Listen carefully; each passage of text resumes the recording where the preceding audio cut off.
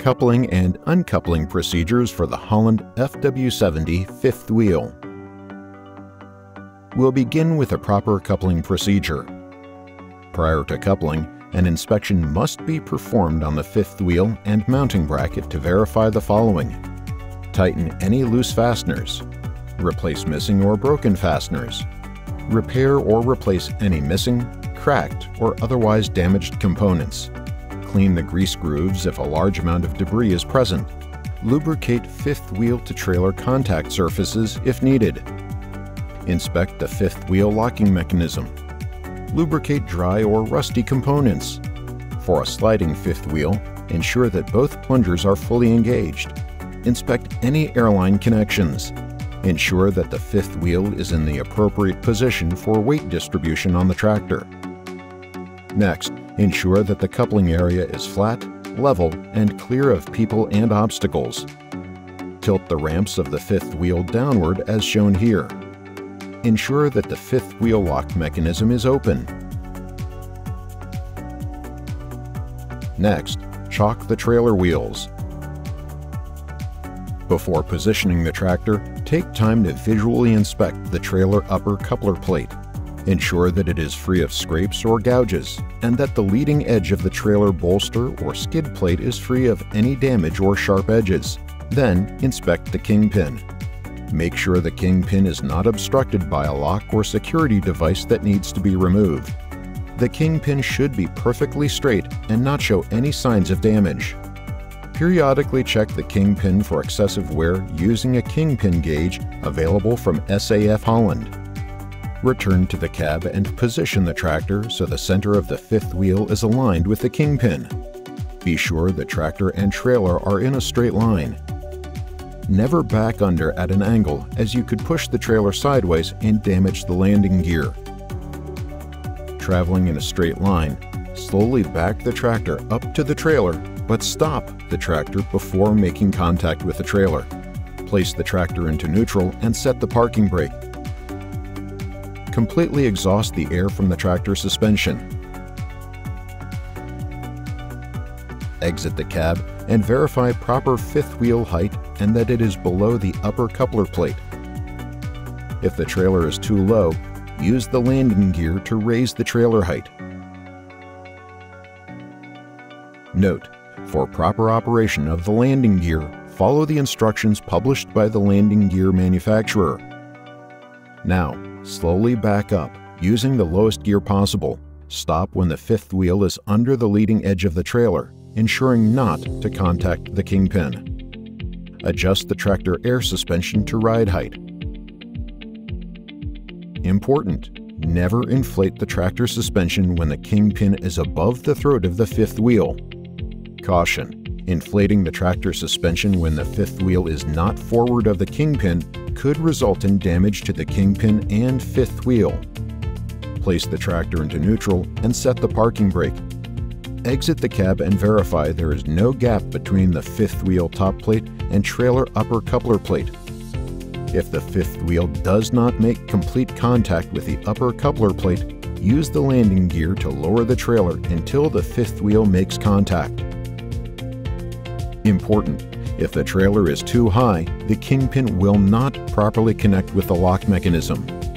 Warning, failure to couple with the trailer at the proper height could result in improper coupling, allowing tractor-trailer separation which, if not avoided, could result in death or serious injury.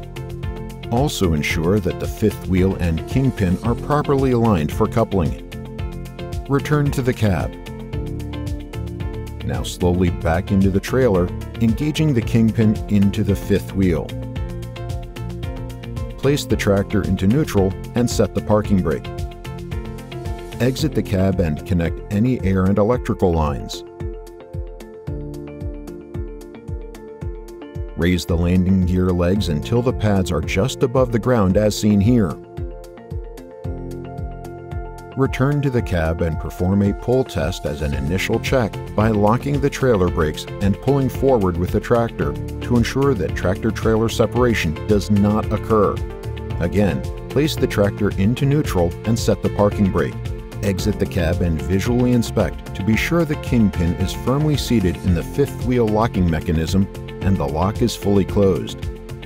In addition, the primary and secondary release handles should no longer be hooked onto the top plate casting. There should also be no gap between the trailer upper coupler plate and the fifth wheel as shown here. If proper coupling has not been achieved, you must repeat the coupling procedure. Warning, failure to properly couple the tractor and trailer could result in tractor-trailer separation, which, if not avoided, could result in death or serious injury. Important, do not use any fifth wheel that fails to operate properly.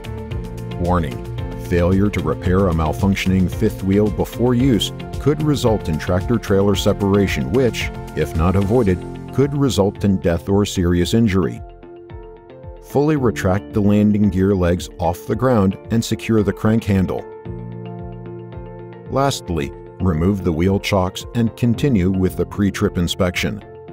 The Holland FW70 coupling procedure is now complete. Following is the proper uncoupling procedure for the Holland FW70 fifth wheel. Begin by positioning the tractor and trailer in a straight line on flat, level ground, clear of people and obstacles. Now set the trailer brakes. Slowly back the tractor tightly against the trailer to relieve pressure on the fifth wheel locking mechanism. Place the tractor into neutral and set the parking brake. Important, do not exhaust air from the tractor suspension before uncoupling. Caution, exhausting air from the tractor suspension before uncoupling could result in difficulty uncoupling the tractor from the trailer, which could result in damage to the fifth wheel and kingpin. Next, exit the cab and chock the trailer wheels. Lower the landing gear until the pads just touch the ground. When lowering the landing gear, do not raise the trailer off of the fifth wheel top plate. Note, for proper operation and ability to transfer the trailer weight from the fifth wheel, follow the instructions published by the landing gear manufacturer. Disconnect the air and electrical lines from the trailer and secure them to the tractor. Pull the secondary lock release handle and hook on the top plate. Next, pull the primary release handle completely out and hook on the top plate casting as shown here. If you have an air release equipped top plate, set the tractor brakes and actuate the fifth wheel control valve to open the locking mechanism. Return to the cab and release the tractor parking brake and slowly pull forward 18 to 21 inches to disengage the kingpin from the fifth wheel. The fifth wheel should be between the front edge of the trailer and the kingpin. Important, do not drive the tractor free of the trailer. Place the tractor into neutral and set the parking brake. Completely exhaust the air from the tractor suspension, ensuring that the fifth wheel is below the contact surface of the trailer. Exit the cab and visually inspect the uncoupling. Ensure that the trailer is completely supported by the landing gear. There should be a visible gap between the fifth wheel top plate and trailer upper coupler plate once again, return to the cab and release the tractor parking brake and slowly pull away from the trailer. Apply air to the tractor air suspension to return to ride height. The Holland FW70 uncoupling procedure is now complete.